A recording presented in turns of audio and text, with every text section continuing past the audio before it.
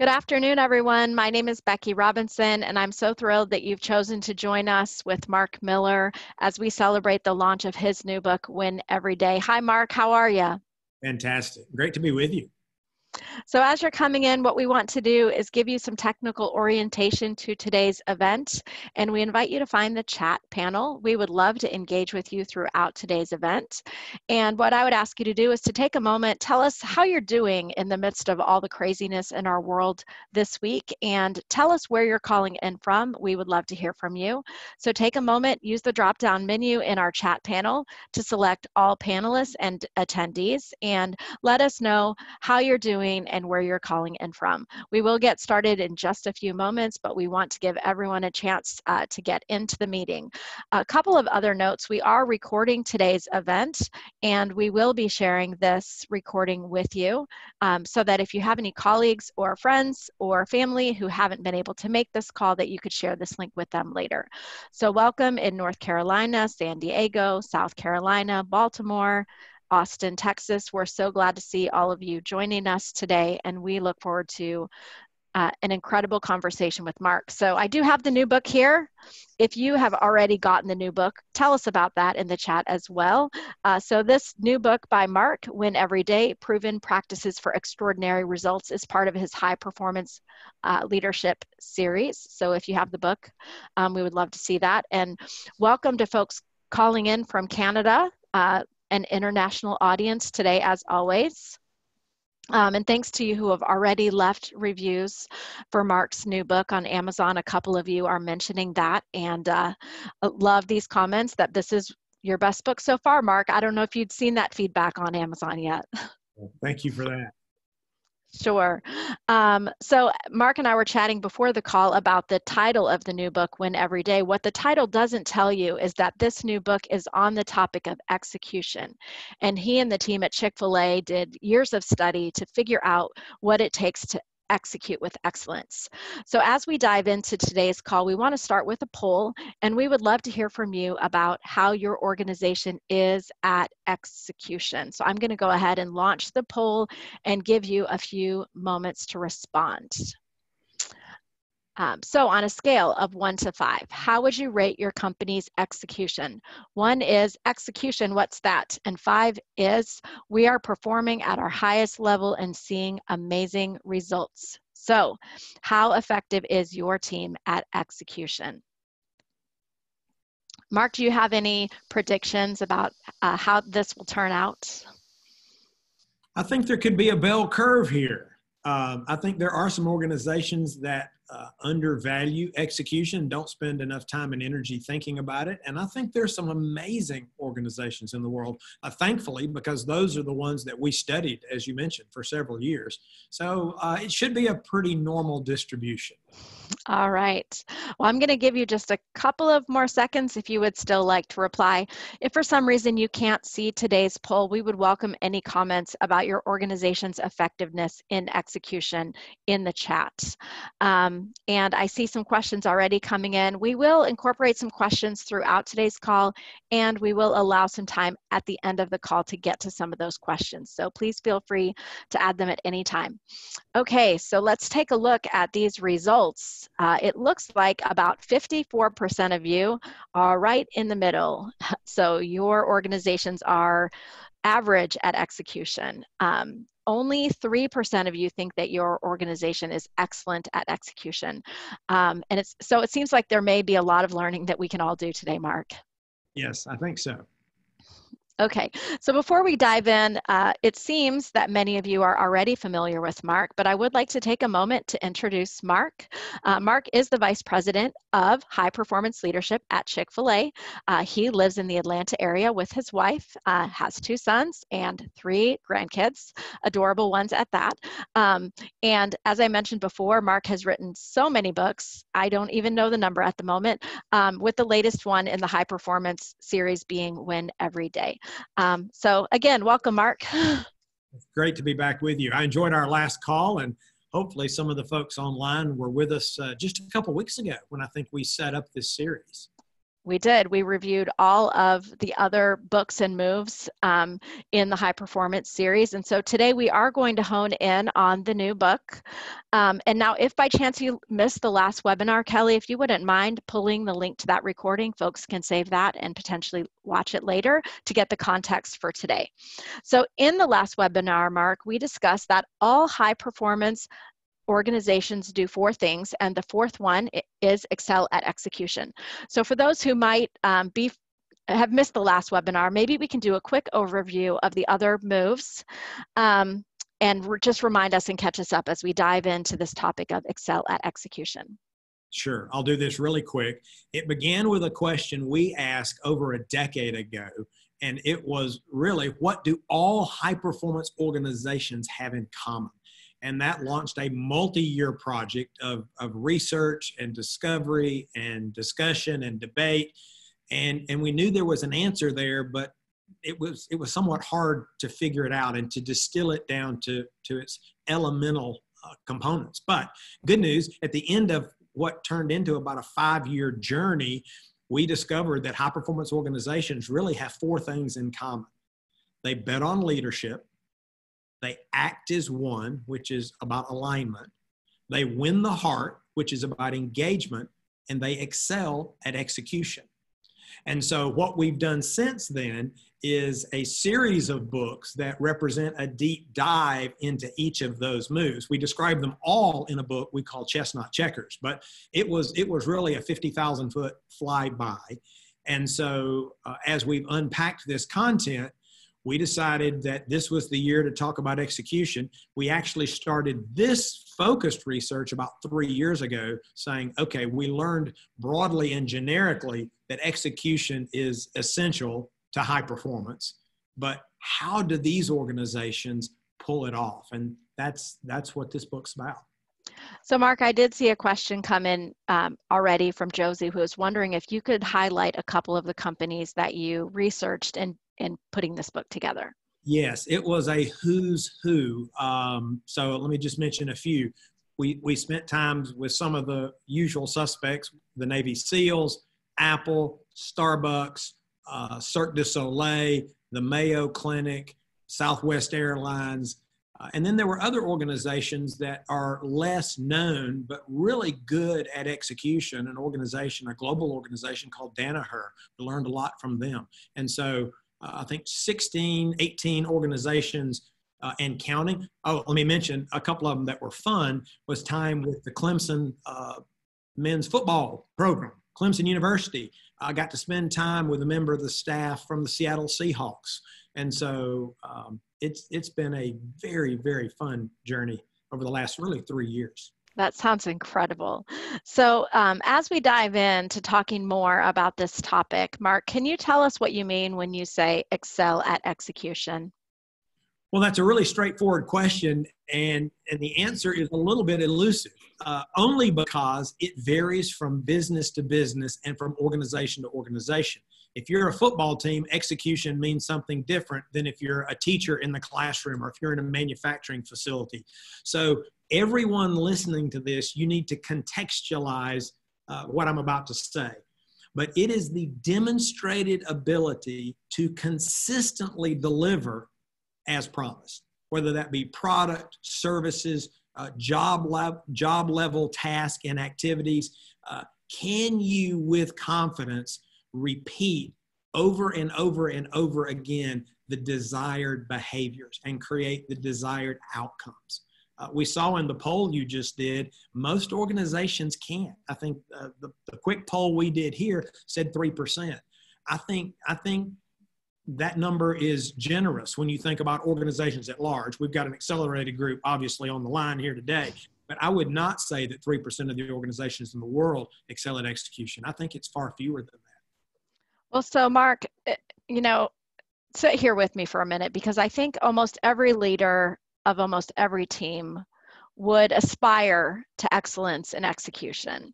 And so if if many of us, most of us, all of us have this deeply held desire to execute well, why does it seem that elite level execution is so elusive to most organizations? Well, I want to I want to challenge um, your assumption. I've met 10,000 people that want to write a book. Do they really? I mean, do they really? I've, I've met hundreds and hundreds and hundreds and hundreds of people that say they want to run a marathon. Do they really? Right? I know you've run a lot. We may, I may use that example a little bit later. So first, to say that you want to excel at execution, it, it's easy to say that, and it's actually the right thing to say if you're a leader. But really, do you really want it? Now, let's assume, let's give the leaders on this uh, webinar the benefit of the doubt and say they're in that camp. Mm-hmm. Well, for those that really want it, then you got to have a plan. You got to have a credible plan. So when you decided to run your first marathon, I know you've run many. When I decided to run my first marathon, we had to make a decision that we really wanted to do it. Not it would be nice, it would be fun, maybe someday, it's an aspiration, it's on a dream list, it's on a bucket list. No, when you decide you really are going to do it, I'm guessing you put together a plan and you started working that plan. And mm-hmm. and that's one thing I believe this book can do. It can it can add value to leaders who have made that decision because none of this is going to happen without a decision. But once you've made a real decision, then win every day can provide the playbook that you need to actually uh, turn that vision into reality and sustain it. So that's really helpful, Mark. Um, I want to just summarize what I heard you say. Maybe uh, my assumption is partially correct that leaders want to excel at execution, but it starts with the decision to excel at execution. And then it requires a plan and following the plan in order to become excellent. A real decision. And, and you actually have to decide how good do you want to be. Right? Hmm. And what are you comparing yourself against? There are many businesses that are successful that don't excel at execution. So, one, they could be successful because they're better than their competition. Doesn't mean they're excelling at execution. Or they're good, but they're not great you know, one of the phrases we use in the book and, and one of the um, rallying cries that some organizations have already embraced is do the right thing the right way every time. Now, if you can create a culture where people are striving to do the right thing the right way every time, that's a really, really high bar. Now, quickly, before you ask the question, I'm going to tell you the question that I've already heard many times as we've talked about this content people will immediately say, well, that's an unrealistic expectation. Hmm. And I will say, I agree completely. It's not the expectation, it's the goal. And what we know from our own experiences and from the psychologists who've helped inform this work, they've said that lofty goals inspire people, whereas unrealistic expectations create disengagement. So, as leaders, I think if we can say we want to create a culture where we are striving, we are working together, we are trying to do the right thing the right way every time. And as leaders, our role is to help you, to help you pursue that level of execution.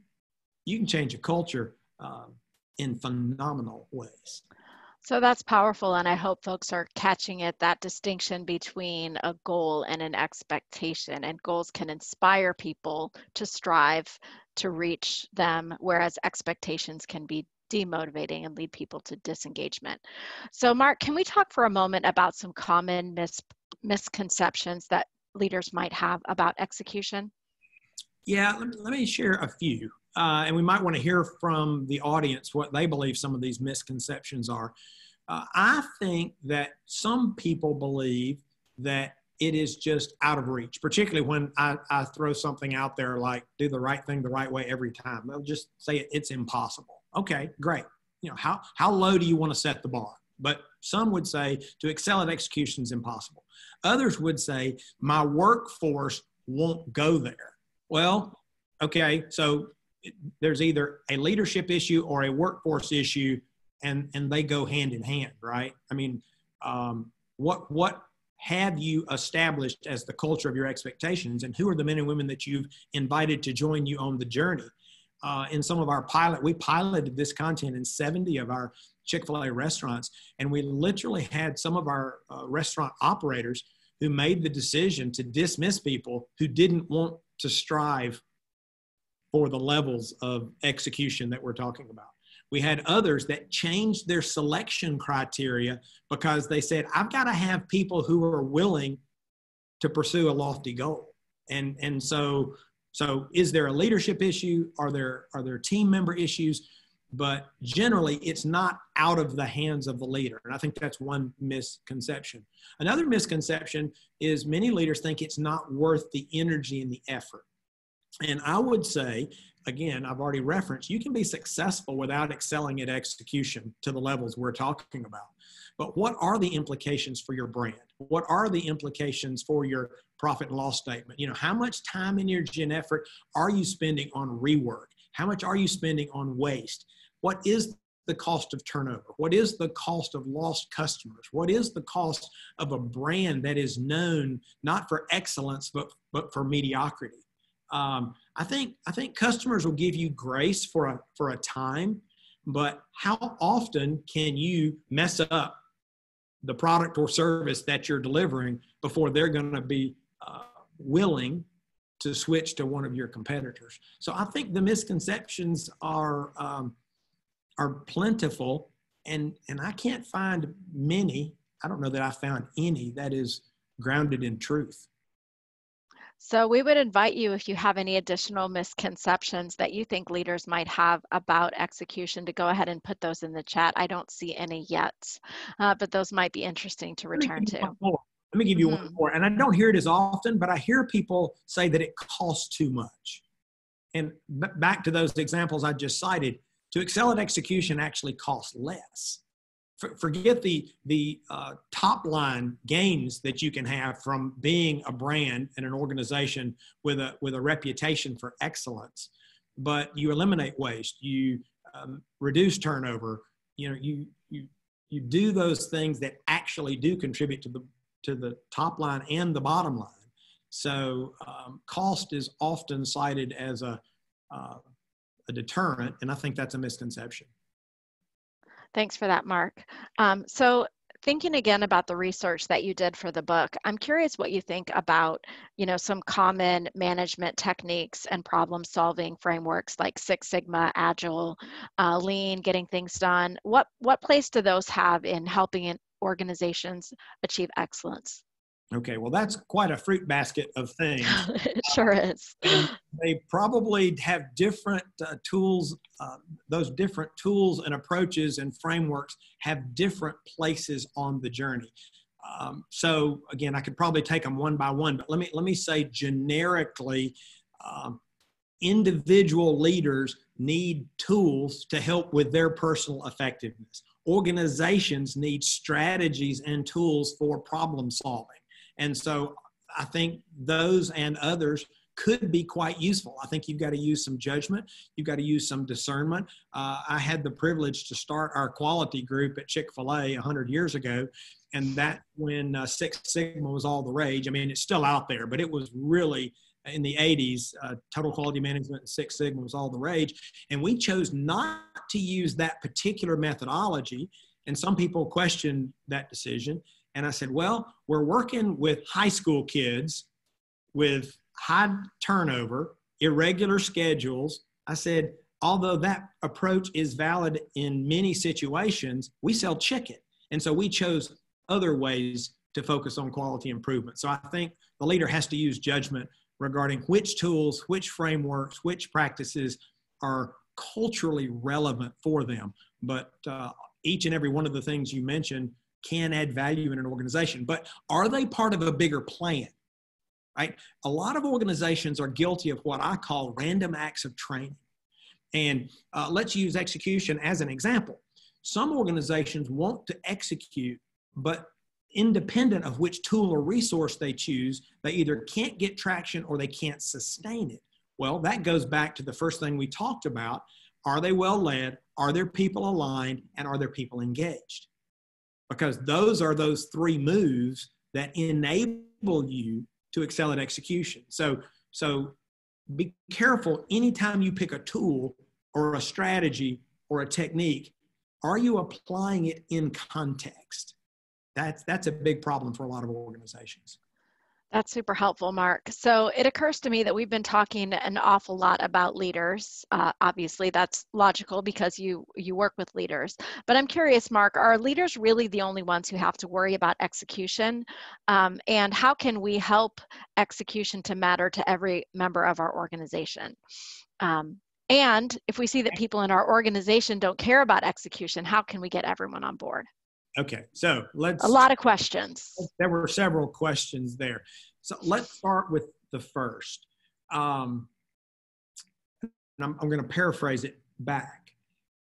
Is execution the, the focus, the domain, and the priority of the leader alone? I would say absolutely not if you want to create a culture where uh, excellence is the norm. Leaders can't do this by themselves because leaders don't do the frontline work. In our context, they don't serve the guests, they don't clean the tables, they don't make the sandwiches, they don't run the drive-through. Um, we have we have learned, and this may be a blinding flash of the obvious to everybody on online here today. The magic is in the masses. So let me let me give you a simple example. Uh, and for the, those that have looked at the book, know that uh, we've chosen a sports metaphor to, to tell this story, but it seems to work so well for me. That's like saying for a football team, can just the coach care about execution? Well, the coach is not the one on the field. The coach isn't the one running the play. The coach may call the play, but you need every member of the team to make their individual block to execute their assignment. You need the, the wide receivers to run the correct route. You need the quarterback to turn the right way and the back to turn the right way. And, and you know, you need to block down or pull the guard. And, and that's why it works. It's not because the leader, the coach, had a great idea and may have designed and called a great play. A great play means nothing if you can't execute it, and you can't execute it without individual players. So to your to your first question, the, the levels of execution we're aspiring to can only be achieved if you get everyone involved. Now, I think the second question was well, what if you have some people that don't care about execution? So I referenced that earlier. You may have a misfit, but I would not jump to that conclusion. I would want people to understand why execution matters. Why does it matter to them personally? Even as a human being, right? Why, why is it a good thing to bring your best self to the task at hand? I would want them to understand the impact on their team. I would want them to understand the impact on the organization. And even broader than that, a growing number of organizations are trying to actually do good in the world. And all of that begins at the point of execution, right? That's, that's how you are able to do good in the world. That those individual acts, cumulative over time, create an opportunity for influence. You earn that influence at the point of execution over and over and over again. So if you don't have people who are on board, I would I would try to help them get there. Now, I reference this, I'll say it again. You may actually want to tweak your selection criteria because there is a subset of human beings that really don't care about this kind of thing. I'm not saying they're bad people, but if you're a coach, do you really want somebody on your team that says, I don't care what play you call, but I'm going to do what I want to do? Doesn't even mean they're a bad person. But if you're going to play this game, you need people who are going to play that game with you. Certainly I, so. Third and finally, your last question was about how do we help them get there? I've referenced some of that, but I think part of it is leadership intent. Like, no, leaders have to communicate that this is actually the way we're going to do this and and we're going to help you and we're going to we're going to coach you and we're going to train you and we're going to celebrate you and we're going to hold you accountable. And you help people get there by knowing this is not a flavor of the month. This is this is the way this business is going to operate. This organization is going to operate. This is the way this team is going to uh, pursue our work. And i think that'll help some people get on board. I heard a talk recently from a ceo uh, took over a new team, and his intent was not to uh, dismiss anyone. He wanted to work with the team that he had, and someone actually confronted him that they did not want to do what he wanted to do, and he mm-hmm. said, "Well, that's fine." I said, "What do you mean that's fine?" He said, "Well, we'll we'll miss you. We'll still love you, but we'll miss you. like you're not going to dictate the play we're going to run here." Can you, I'll give you tomorrow to decide if you want to run this play or not. And the guy said, Well, I can tell you now, I don't want to do it. He says, Well, that's fine. That's fine. Leaders have to have the courage to have those kind of conversations. Who's calling the play? And, and you can help people. Many, in fact, that leader talked that a decade later, he had only lost a couple of leaders over a decade because most everyone stayed on the senior leadership team. Um, he, he won them over, but he told them, here's what we're going to do and here's how we're going to do it. Wow. So Rob has a really insightful question that references uh, something from the book, Mark, uh, when the book says, Are we good enough? So, how do you get everyone, not just the leaders, to think we aren't yet? So, what do you do when people's idea of good or excellent doesn't measure up to what the organization is aspiring to? Well, I think it, it goes back to, to what I just said. The leader has to decide that for the organization. Now, I'm all about uh, consensus when when appropriate. I'm I'm all about including people uh, when appropriate. But this is a strategic leadership decision, and I think ultimately the leader has to decide how good are we going to become what are our aspirations? You, you know you're you're not uh, having that problem at somewhere like clemson football and dabo says no we're this is how good we're going to be and that's what we work towards. That's our goal. And so um, if you work for a leader that thinks it's good enough then you've got to decide can you um, excel at execution in the area of your responsibility or accountability? And if you have um, grander aspirations, you may actually not be at the right organization because you know you're you're going to probably struggle if if you want to be better than the leader you're serving. That's really helpful. So, Mark, what are the specific behaviors that are needed to create and sustain a plan of excellent execution? Okay, well, this is the fun part for me. Um, I mentioned we piloted this content with 70 of our businesses. And the first 40, we had messaged this content differently, still built on the same truth that has ultimately made its way into the book. And what we did in the last pilot with 30 of our organ, uh, organizations is we've reframed the content to your specific question. We said, this is not just for leaders. I've already said the magic is in the masses. So, what are the behaviors that we want everyone in the organization, leaders included, what are the behaviors we want everyone in the organization to embrace?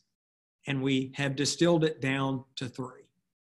The first is to pursue mastery. And I don't know, I don't want to go deep on these, but let me give you a word about that. Uh, this was inspired by a lot of personal examples and illustrations and organizational examples. I mean, this was one of those, uh, as uh, I've been told before, if you stare at the stars long enough, patterns will begin to emerge. We didn't find a single organization that used this language, but the elite organizations embodied this. And what it boils down to is you can't reach the levels of excellence we're aspiring to unless individuals make a decision. It was actually the sports psychologist for Clemson University that kind of nailed it for me. He said, You can't drift to where you're trying to go. Individuals must make a choice that I want to go there. And so we uh, had chosen the phrase pursue mastery. And we say mastery is a, is a level of skill when the desired behavior is done consistently, flawlessly, and becomes second nature. So it's just routine. In our world, we talk about the core four. We want these are the behaviors that we want you to experience when you're with one of our frontline people, right? They're going to make eye contact. They're going to share a smile. They're going to speak enthusiastically, and they're going to say, My pleasure. Well, when you reach mastery of the core four, it's when those things are done consistently. It's when uh, they're done flawlessly. You don't do three or you don't do two, which when you do all four. And when it's second nature, when you don't even have to think about it, that would be mastery of the core four. And so we think uh, the cornerstone of this whole play is for individuals to say, yep, I will strive. I will pursue mastery. The second is own the numbers. This was probably again i hesitate to, to label things that we don't have data to support but but i would say this was universally true. This was even true in some of the second and third tier organizations that we studied. If they have any level of seriousness about execution they think about measurement. And they measure because that helps you identify where you're winning. That helps you identify where you need to improve. That gives you opportunities to celebrate. And there are a lot of things that come from measurement. It helps you create focus. It helps create energy. It helps create urgency. And we saw example after example after example after example. And we came to the conclusion that as powerful as measurement is, and there's some psychological data to support this as well, what's one step more powerful than measurement is when individuals own the numbers. It's when I say, okay, I am going to own that. I am going to work to make it better. I'm going to identify the individual and personal characteristics and behaviors that will drive that number. And I am going to uh, adopt a sense of personal accountability towards that number. So it's still built on a foundation of measurement. Measurement is probably the core idea here. But in these very best organizations, it's not someone else imposing a number. Is it as much as it is an individual owning that number? And uh, that's been that's been a game changer. Uh, in some of our pilot restaurants they would tell you that was that was the big deal for them because honestly uh, they had a lot of their team members that didn't even know the score. Well there's obviously no way you can own a number that you don't even know. And i would i would suggest that you got people working in organizations all over the world right now, this minute, that have no idea what the score is. And when you don't know what the score is, you don't know what numbers matter, you don't know how your performance impacts those numbers, uh, it's, it's impossible to execute consistently over time at the levels we're discussing. So, Mark, I'm curious hearing you talk about that. Um, and that if you don't know the numbers that you're working toward, it's impossible to have those as your goals. Would you be willing to share with us some of the numbers that the restaurants are using and, and helping people to own? Well, I can. I want to offer the disclaimer that uh, every team sets its own numbers and every player sets its own numbers. So, uh, and, and let me also say, I don't want to go too deep here, but sometimes the numbers are uh, set by the organization and sometimes they're set by the team and sometimes they're set by the individual and sometimes they're a combination of the three. So you know you, you've got to think about it's often it's a scorecard. Now in our restaurant situation i've already mentioned a lot of uh, part-time workers a lot of young people high turnover. We have continued to encourage our operators who make these decisions by the way independently. They're independent business people. But they're trying to in many many many many cases keep it simple and as someone moves higher in the organization, they may have a more expanded scorecard. But it could be as simple as uh, how'd you do on the core four? Uh, how consistently are you doing that? It could be order accuracy for the person that's bagging because we have reports on how accurate the customers tell us, you know, was my order correct? Um, you can have speed numbers through a drive through or on a transaction count. You can have waste numbers in the kitchen. I mean, any number of things that a person can assume responsibility for and say, I'm going to own this number and I'm personally going to work to make this number better. Thank you. I appreciate that, Mark. I, it's helpful. Pursue mastery, own the numbers. One more. Help others win. Now, this one is deceivingly simple, and I would argue deceivingly powerful. This one caught us by surprise because, again, this wasn't something that you can go to uh, the handbook of Southwest Airlines or somewhere else and say, yeah, it says right here that we're supposed to help others win. But this was one of those things that emerged. And I, I hesitate to call it an insight, but it was. It, it was a, a breakthrough moment for us because if you if you look at pursue mastery it's critical that's that individual decision and you look at own the numbers that's still about me and my ownership of something. And those are good, powerful, necessary elements. But when you combine that with this idea that every person says, it is part of my job, it is part of my role, it is part of my responsibility to help others win. Then you've moved from me to we. and you've actually not moved. You've combined those. Those first two are more about me, and this one's about we. And we we had an app that we're using in our restaurants as part of this, and uh, it asked three questions at the end of every shift. The third question is, who did you or how did you help someone on your team win today? Simple, open-ended question.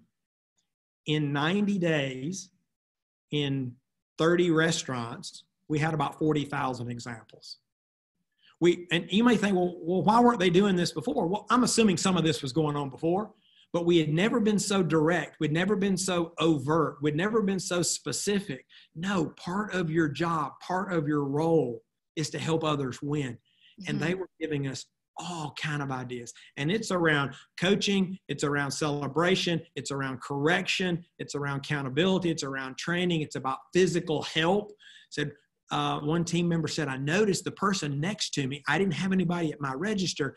And when I heard the drink order, I went ahead and got it for the person next to me. I thought I could help them win, and that would be a win for the customer too. I mean, it could be that tactical, but tens of thousands of those. And this is in 30 restaurants in just a few months. Mm-hmm. So we saw such a huge cultural transformation. And I would argue in places where we already had good cultures. Mm-hmm. But now all of a sudden they they they expanded their their their view. They expanded their idea of even what it meant means to come to work. One quick story. I had a lady tell me that this win every day uh, concept had changed her life, and which is of course exciting, and, and I want to learn more. And so we began to have a conversation. And She said, and I think totally differently about work. Now I said a, a, a, woman, this young lady, this was she was probably 18, 19 years old, you know, just a kid. Mm-hmm. Said, this has changed the way I think about work forever. And I went, really? I said, well, that I guess that's good because she was kind of excited about it. I said, can you give me an example? She said, I walk in here every day trying to figure out how I can help other people. And I said, okay, can, can you tell me why you do that? She said, Have you heard about this app we've got?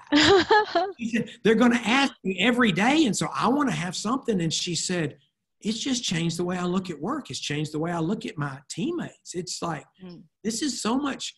It, it, she was struggling for the language. She was saying, This is so much more fulfilling. It's like, I'm actually trying to serve people on both sides of the counter. And so, if you can imagine the power of getting the 10 people on your team or the 100 people in your organization or the 100,000 people in your organization to say part of my job every day is to help others win. So we have been blown away by the power that that has unleashed in addition to these same people saying I will make a personal commitment to pursue mastery and I will own the numbers that I can affect and the numbers that I can impact and I'm going to help everybody else win too. So those are the three uh, fundamentals we call them, the three fundamentals of execution. Well, it's so powerful, Mark, and I'm just sit, sitting here wondering and thinking if others who are listening um, are imagining what their workplaces might be like if everyone came to work with the attitude of how can I help others win. Um, and I'm curious also about how that ties back to execution. So um, what thoughts do you have you know can you connect the dots for me so how does helping others win help the whole organization excel at execution well you go all the way back to if, if you have bought into this idea that i'm going to try to do the right thing the right way every time and i'm going to help you win and you're not doing the right thing the right way every time i'm going to coach you i'm going to train you i'm going to encourage you i'm going to help you because this is all in the confines of execution. I'm not saying I won't walk your dog, but that's not what we're talking about. We're talking about in the context of the workplace, knowing that we're trying to win every day, we're trying to excel at execution. How can you help others experience that win? Uh, when you're struggling with your numbers, I may be able to help you.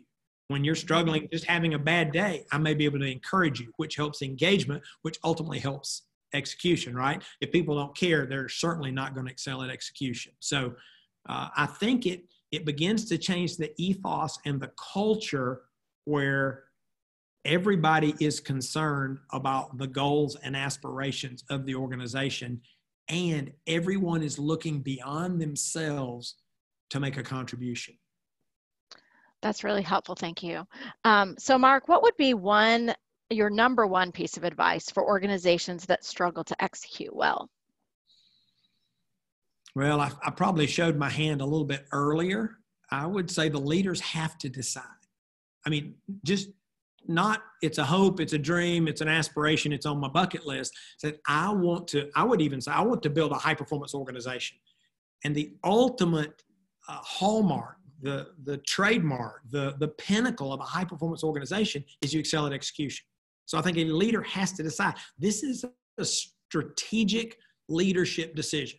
I've never seen an organization drift to the levels of excellence that we're um, that we're discussing here today. So the leader has to decide. You've got to get a plan.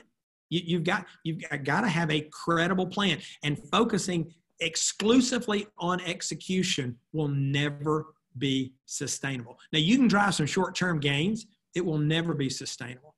I, have told this story before on a webinar a couple of years ago when we began to talk about bet on leadership, act as one, win the heart, and excel at execution. I literally had a leader tell me that all he cared about was execution. He didn't care about all that other crap. Well, I said, okay, so good luck with that. I said, think about a gymnast that says, I just want to do the dismount. It's like, where do you get the height, the energy, and momentum to do the dismount? It's in the routine that precedes the dismount. So, where do you get the height, the energy, and the momentum to excel at execution? It's in the routine that precedes the dismount. Is your organization well led? Are they aligned? And are your people engaged? Do they really care? Then you're positioned to ask people will you pursue mastery? Will you own the numbers? And will you help others win? Some people that struggle, it's because they're trying to race to the finish line and they've not run the race. So, but well, back to your advice, it starts yeah, yeah. with decision. Starts with a decision. Bill Belichick didn't wake up one day and find out he had a great football program. He made a decision he was going to build a great football program. And he's been working on it for how long? 30 years, 35 years? Sure. Well, and uh, you know, it's interesting, Mark, to think about kind of the, I don't know if it's like arrogance that says skip over that other stuff. We just want to execute well. But if i told you well i just want to cross the finish line at my marathon. I don't really care about the training or the miles to get to the finish line. All i care about is the finish line it's impossible to get there. Right. Maybe you've got a business idea there. You can just take people's picture standing at the finish line uh, it's the pretenders club. We can douse them with water so they look really sweaty. Sweaty. Um, but yeah, you gotta you gotta do the work. Have I I told you about my very first run of when I was training for my very first marathon? I don't think so. I think I, you should share. I decided I was going to run. My son, uh, my oldest son, actually challenged me. He challenges me to do something every year that's kind of crazy. And a few years ago, he said, "Hey, let's run a marathon." And so I said, "Okay." So I thought an assessment would be appropriate. I said, "I'm going to go out and just run." and kind of do a personal checkup, like how, how did I feel? How far did I go? How long did it take? And I want you to know that on my very first run, I made it four. Four minutes? Four, not four miles. I made it four minutes. And it, it took six months to go from four minutes to 26.2 miles. But that's pretty fast. You got to start, right? You got to start. Mm-hmm. And uh, that start, starts with a decision. That that start was preceded with a decision. Mm-hmm. And I was in an awful spot, but then you, you you put in the time, you put in the energy. You know better than I do because you run so many. Uh, and you put in the you put in the hours, and you put in the training, and you you have to at least for me, I have to remind myself of the decision, or I'm I'm not going to get up and run. I'm not going to do the hard work. Well, certainly so. Organizations that jump into this they're going to have to they're going to have to be firmly committed to becoming a high performance organization or they won't get there. Well and hopefully some of these analogies will help these ideas stick. You have to decide. So mark i'm imagining there are some people on this call who feel like excellent execution is outside of their control or influence because they are not the leaders. So if we are not the leaders, if we don't have any positional authority to, you know, start an initiative to improve execution in our organizations, what advice do you have for us? Start with yourself. start with yourself.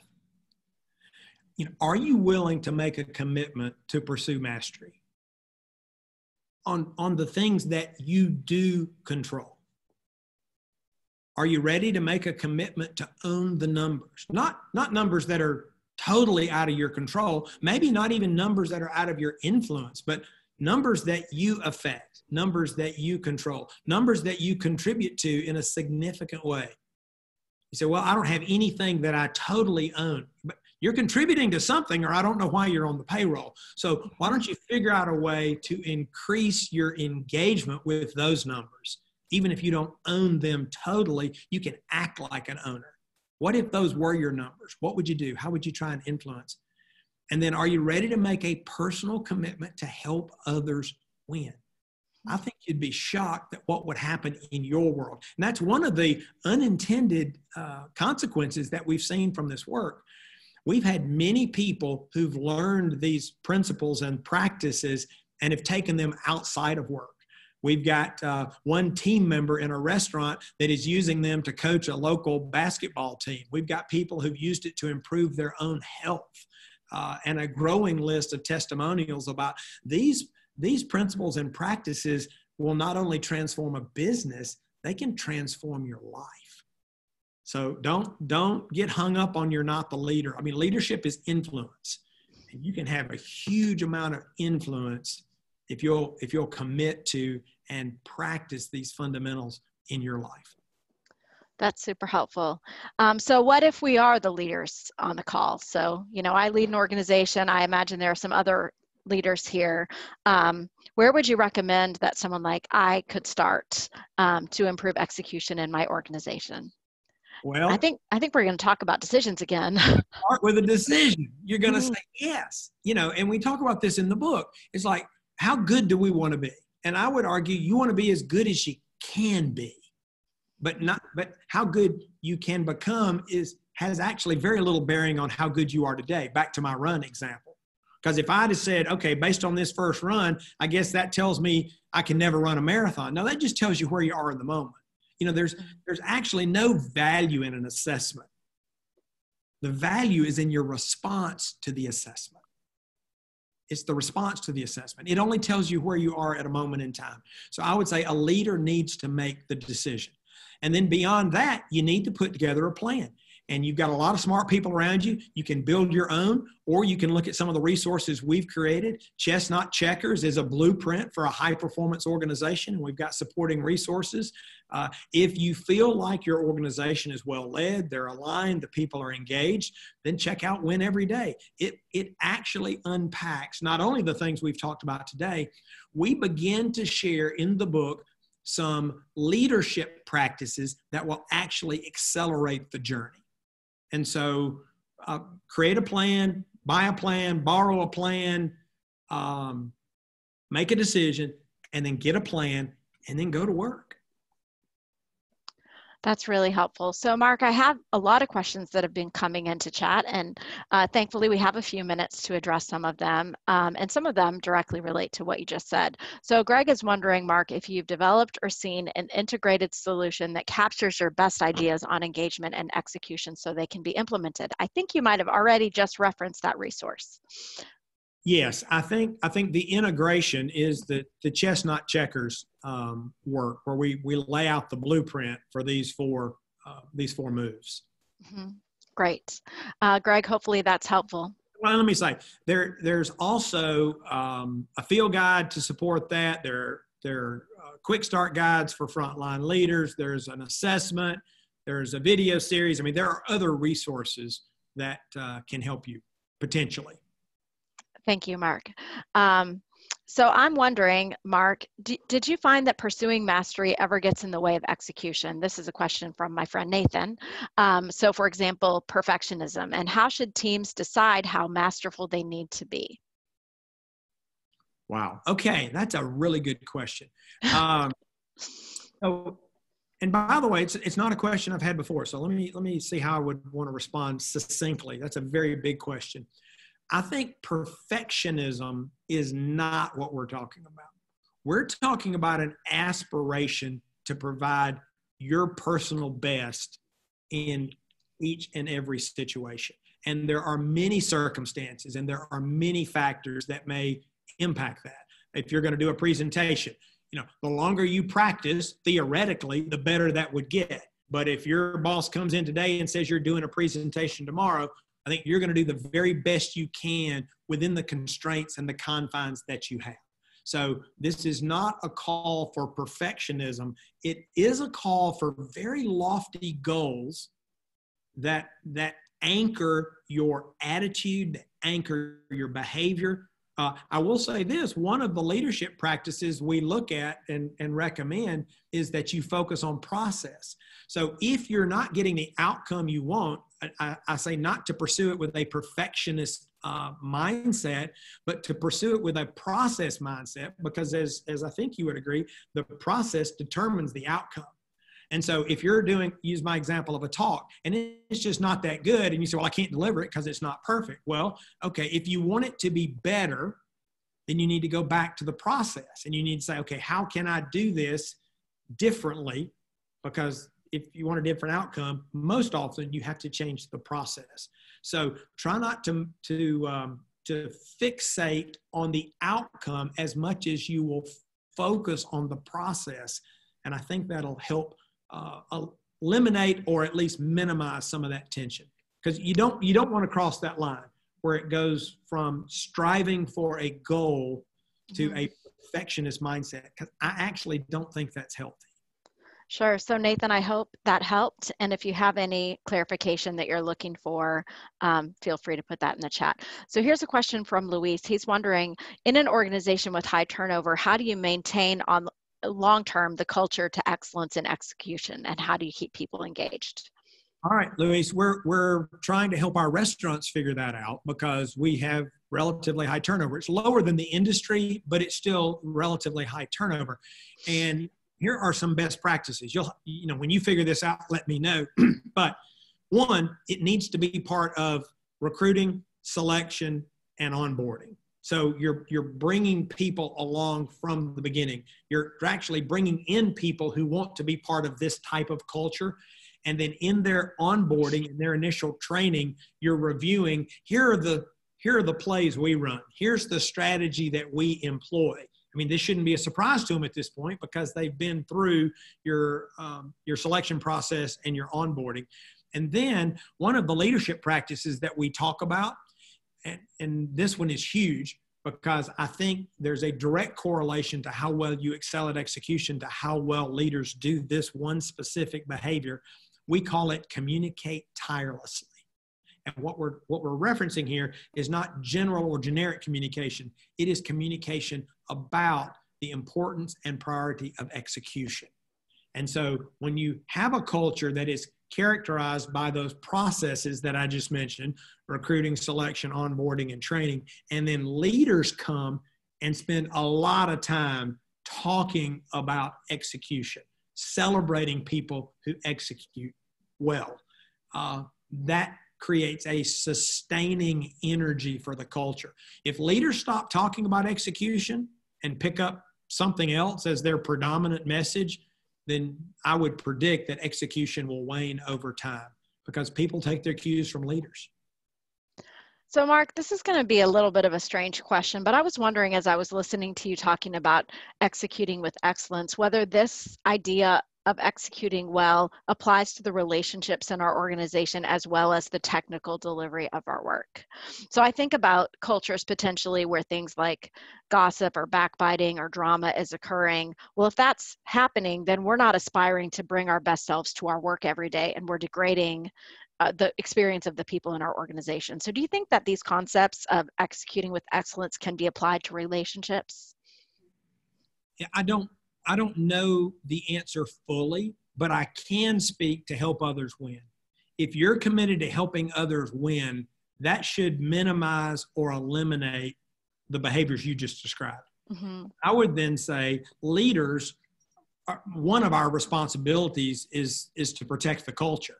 And so if you've got a culture where you're asking people to commit to help others win and you witness that type of behavior, leaders have to call it out. I mean, that is not healthy. That is not nurturing. That is not uh, creating the, the type of culture that any of us have agreed we want. So I can't in the moment speak to the other fundamentals, but what you described is incongruent with a culture where folks are trying to help each other win. Thanks, Mark. I appreciate that. So we are coming toward the end of our time together. Uh, the good news is we will be back together for one more webinar um, as we celebrate the launch of Mark's latest book, Win Every Day. Um, and Kelly is going to put information about how you can sign up for that next event into the chat, along with a few other key calls to action. So Mark has mentioned a number of resources that exist for all the books in the High Performance Leadership Series. And, you know, just a quick plug. I adore the work that Mark and his team have done around the quick start guides. As a leader, you can very quickly pick up and find practical tips in those tiny books, um, and they're hugely beneficial. Uh, the one that stands out to me is um, the one about engagement and uh, the title win the heart so the win the heart quick start guide has so many practical ideas of how to really care for people on your team and demonstrate that uh, value that helps people to feel engaged. Um, so I would encourage you to check out all the resources for all of Mark's books on his website, leadeveryday.com is where you can purchase those resources. Uh, Kelly also um, has given you the link uh, to buy Mark's book on Amazon. Uh, it's no lo longer in pre order status. And we would love to have you also if you have read the book and enjoyed the book to leave a review. I personally am so thrilled mark. The last i checked we had 57 reviews this first week and I, i'm sure that many of the people on the call today are responsible for some of those reviews and the momentum that we're seeing. So thank you to all of you for that. Um, before we wrap up today's call mark i know you have some final words of encouragement for the folks who have joined us today. Yes thank you becky and thanks for um, leading this conversation. I'm always delighted to spend time with you and your team. But I do want to offer a final word. I was with a group of leaders yesterday, and we were talking about win every day. And we were talking, as we have here, largely about the nuts and bolts of how do you do this? How do you how do you create this type of culture? And I think that's a conversation that is needed. But at the end of that meeting. It was a multi-day meeting but at the end of that meeting i said look i want to i want to bring us back to something that i don't know we talk about enough.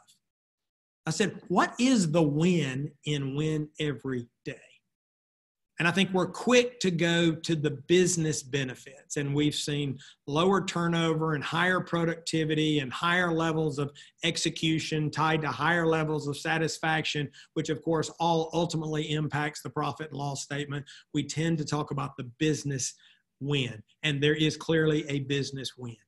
But that is a very, very narrow perspective. I would argue that there is a potential huge potential win for individual members of your team, whether it be increased self esteem, increased self confidence as they lift their goals, they lift their aspirations, they discover uh, untapped potential that resides within them. When they have maybe for some for some a first experience with high levels of personal accountability when they say i'm going to own that number and here's what that means and here's how that translated in my life. And as you introduce some of them for the first time to this idea we really do want you to help others win you introduce them to the joy of serving others. I think that's life changing and the ripple effect will go for decades if not generations so I think they're the personal win at the team member level. I think there's the leadership win. We've had leaders across our country say, This makes my job easier. This creates more capacity for me. This creates more margin for me. I remember meeting with one young leader. He said, I feel guilty. I said, Well, why do you feel guilty? He said, We've really deputized our whole team to do stuff that I used to see as my job. I used to tell people to work harder and work smarter and do it better. And I used to be the one always talking about the numbers. And I was the one always trying to get, go help that person, go help that person. Said, we've now deputized all these people. He said, I feel guilty. My job is easier. Hmm. And if you do create that margin and capacity, you know, think of the value you could add as a leader if you actually had a little margin and a little capacity. So I think there's the individual win. I think there's the the the leader win. I think this is the business win I've already referenced. How about the brand win? If you become a brand known for excelling at execution, I mean, would your organization be listed right now among anybody's list of elite organizations when it comes to execution? What would happen if you did? What would happen if you did? So, for some of you, you can even tie it to a higher purpose. You know, why does your organization exist and how how would you benefit as an organization? How much closer would you move towards your purpose if you built an organization that could win every day? So, I reminded our people this is work that matters. And yes, it has a business outcome and it has a payout. It has a tremendous financial return, but it's so much bigger than that. Because when we help people win every day, we win every day. And the world wins every day. And, and I love changing the world. I think that's what leaders are supposed to do. Thank you. Thank you. So we'll see you on the next webinar. And uh, wow, I'm inspired, Mark. Take care, everyone. Stay healthy and safe. Bye bye.